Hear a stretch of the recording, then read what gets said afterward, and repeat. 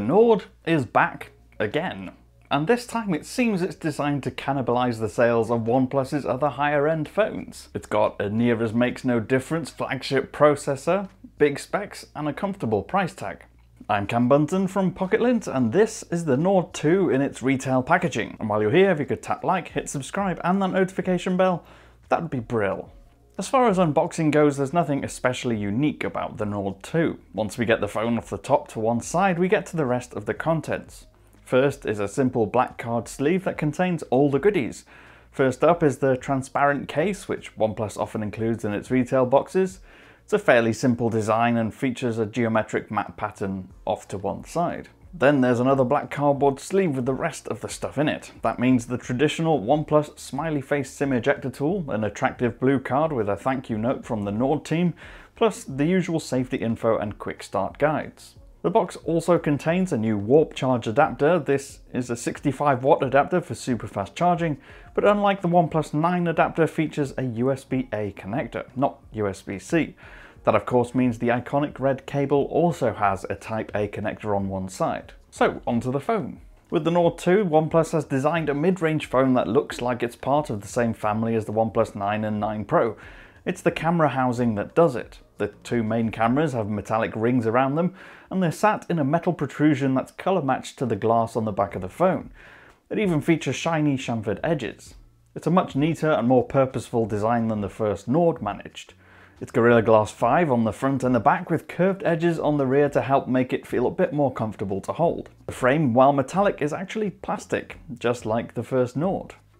There's nothing really to shout home about in terms of overall look. It's very much your standard 2021 mid-ranger in that it has a hole punch camera stamped to the top left corner of the display with thin bezels around three of the sides. That bottom still has the slightly chunky chin. And unlike the Nord CE, which came before it, OnePlus opted to include the alert slider switch on the right side of the phone. This allows easy switching between ring, silent and vibrate modes. Onto the display, and as far as specs goes, there's very little difference between this one and the Nord that came before it. It's got a 2400 by 1080 Full HD Plus resolution and 90Hz refresh rate panel. It also has HDR10 Plus compatibility. What that means in reality is the screen should be bright, feature high contrast levels and vivid colours.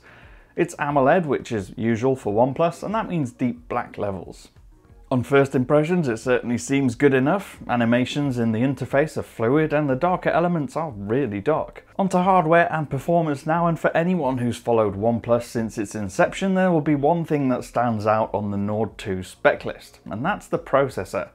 It's not a Qualcomm-made Snapdragon chipset. Instead, OnePlus went with MediaTek and partnered to create a new version of the Dimensity 1200 processor. Technically speaking, it's called the 1200 AI, which OnePlus says is exclusive to the Nord 2 and has been co-developed between the two companies.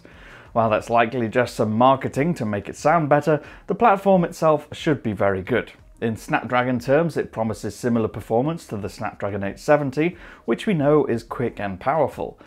In our initial testing, the phone certainly seems zippy and responsive, but as with everything else, we need more time with it to tell what it's really like.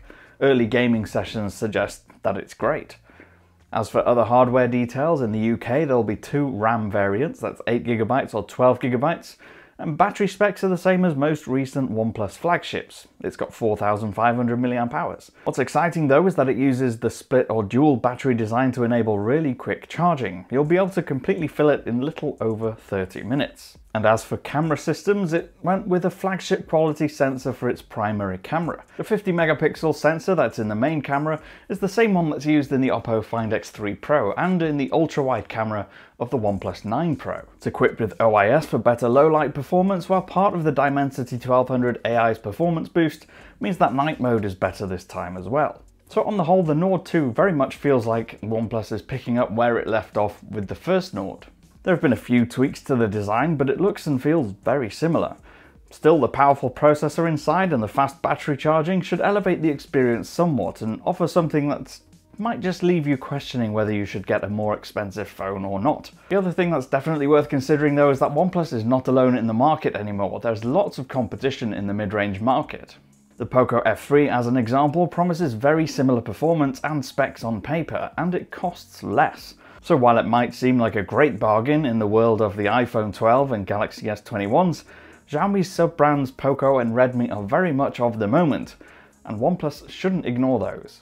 I've been Cam, I'm at Cam Bunton on social media. If you want to reach me on there, you can do, or use the comments section down below. As always, if you did like this video, please do leave a thumbs up, subscribe, and tap the notification bell to make sure you don't miss any more. I'll see you again in the next one. Bye for now.